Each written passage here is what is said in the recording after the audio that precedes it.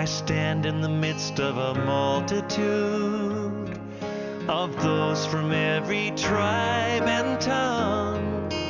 We are your people, redeemed by your blood, rescued from death by your love.